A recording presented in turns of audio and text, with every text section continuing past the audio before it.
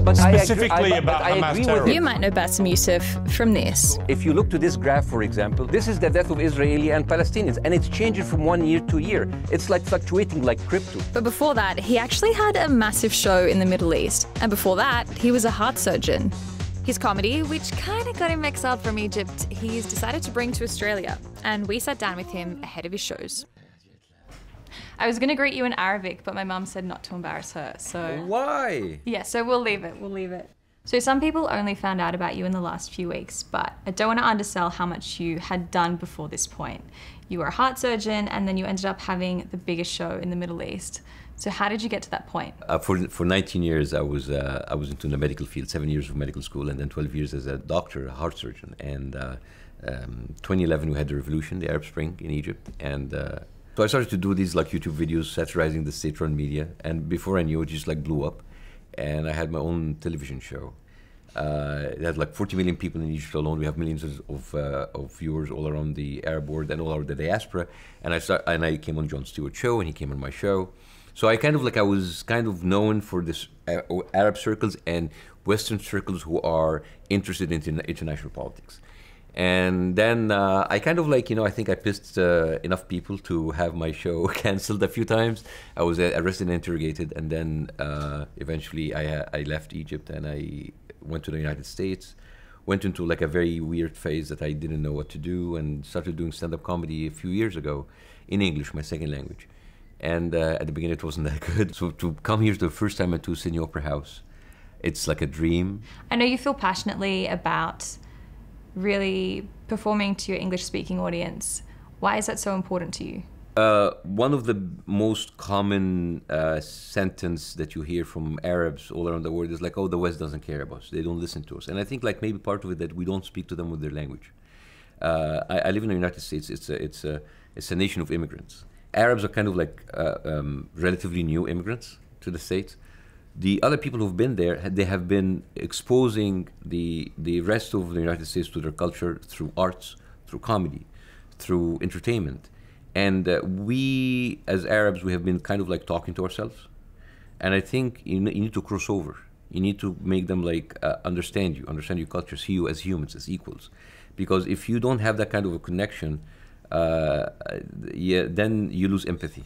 You know, if someone comes up and like and make fun of themselves and make fun of the culture, and make fun of you, and then suddenly it's it's it's endearing, it's beautiful.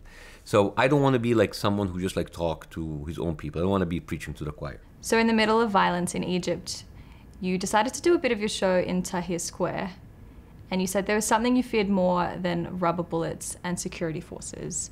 Who was that? Oh yes, my mom. Of course, my mom. Yes. Tell me about it. Well, it, because I had to go through these like protests without telling her, and she would be surprised by that being put on television. Like, "You went there? You went there?" Like I used to go to the protests to as a doctor uh, before I even did anything on, on YouTube.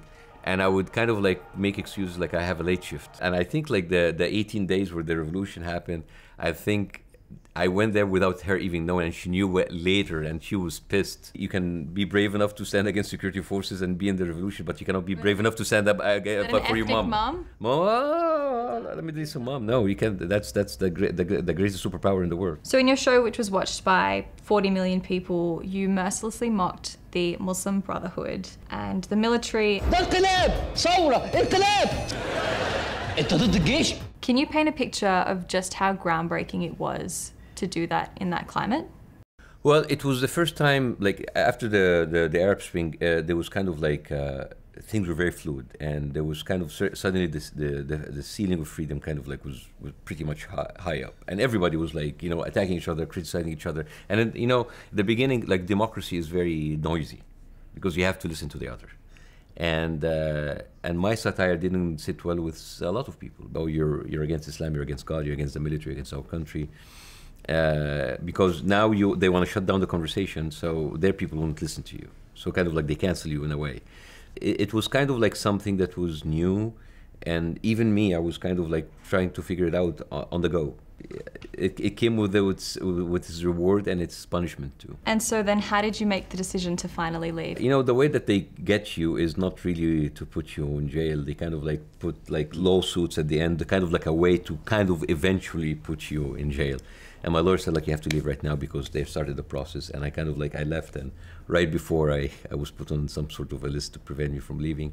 And I went to Dubai for a year, and then I went to the United States. And uh, and that kind of a shift of a change was was difficult because suddenly everything is taken away from you, and you have to start from scratch. It's very humbling. So now with this like rebirth of fame and new fame, it's like you know, it does I I've seen that before, and uh, I I kind of like I I don't embrace it uh, as much, and it's toxic. It's very toxic. It was like kind of like there's a lot of pressure on my like nervous system. It's too much, too much, and and, and there's like also comes with a lot of like expectations, and that's that's hard because at the end of the day, like you're a comedian. Mm. I'm not an activist. I'm not a freedom fighter. I'm not a political leader.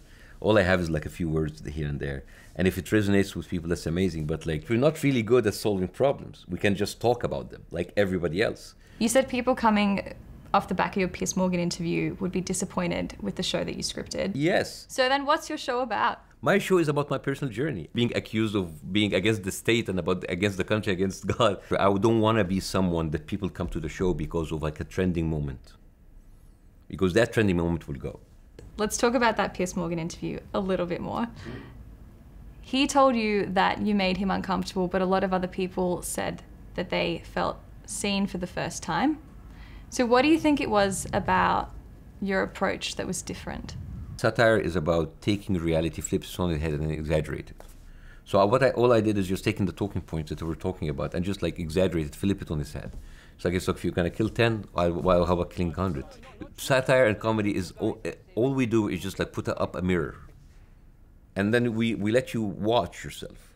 Please, by the way, especially in the second interview, I'm, I'm trying to reach a place where I get this, but it's an incredibly I, I think it was um, a proof that you can sit with someone with a vastly different opinion than yours and you can have a decent conversation. It doesn't matter if you agree about everything, but at least each one of us had the, the chance to be heard, to speak up, to talk about their opinion. And I, and I think maybe this is a way to kind of like going forward, maybe this is a way that people can communicate to each other because everybody goes on television and it's about like dunking on the other person, uh, like scoring points. And uh, I didn't want to do that.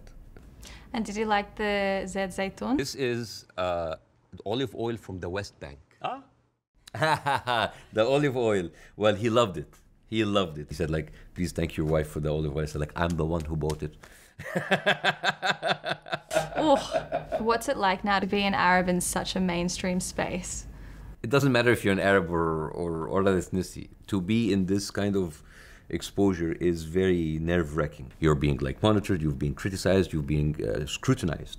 And it is not natural. It is not natural at all. So, I mean, I'm grateful, but I, I have to be. You have to be very careful dealing with this. So you touched down yesterday. How is Australia treating you? Uh, Australia is lovely, but I'm speaking to you with like my like my eyelids are, are dropping. I'm kind of like I'm I'm very tired. Like I mean, I I came to Australia once ten years ago, and I, it was the worst jet lag I had in my life. And uh, I, I was there for ten days. Five of them I was like uh, like a zombie. I don't know how much you know about our broadcaster, but we're the biggest multilingual broadcaster in the world, SBS Arabic, asked for a message to the Arab community. Like my friends in the Arab community, I hope to see you in the Opera House in Sydney, and bring white people. Like bring along your white friends. Every Arab bring five. So Like is a- that a ratio you're comfortable with? No, because because I've already known that like ninety percent of the tickets are sold for Arabs. But like, but we need we need some white people to come in to understand this and also to make fun of them. they, they need to be the butt of the joke. I mean, you colonize the world. Like the, the least that we can do in return is to make fun of you.